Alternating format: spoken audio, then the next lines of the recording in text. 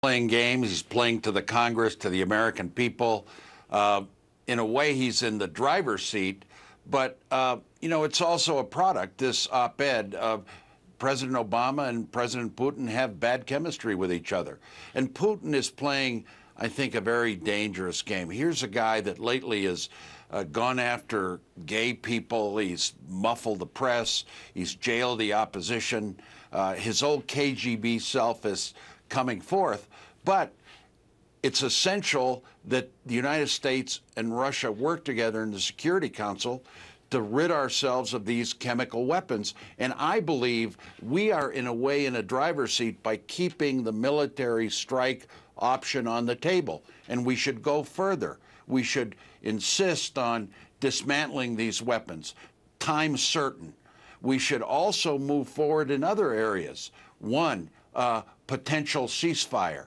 Find ways to discuss a political settlement that involves uh, that involves Assad leaving uh, a weapons embargo. I know I'm getting a little greedy here, but I think this Security Council debate uh, allows okay. us well, to bring those issues up. Let me now, bring it. Let Russia me, let me, can veto. Okay, let me bring in uh, Rick Santorum because you know you heard there what Bob Corker said earlier.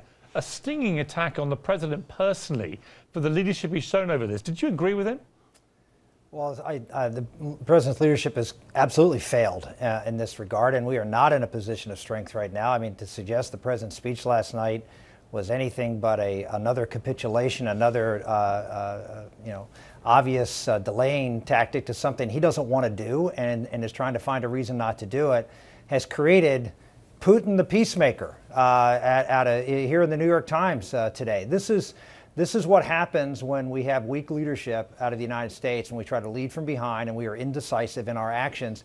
Then we allow others to take the stage and lecture us about what American exceptionalism is, or lecture us about how we pursue paths to peace and, and who are uh, who who in, who in fact should be leading the world.